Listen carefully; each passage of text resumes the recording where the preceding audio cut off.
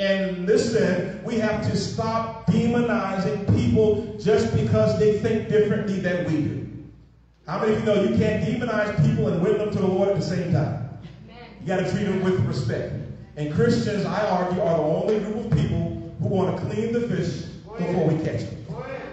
Follow me? And so we have to understand this moving forward. So I find.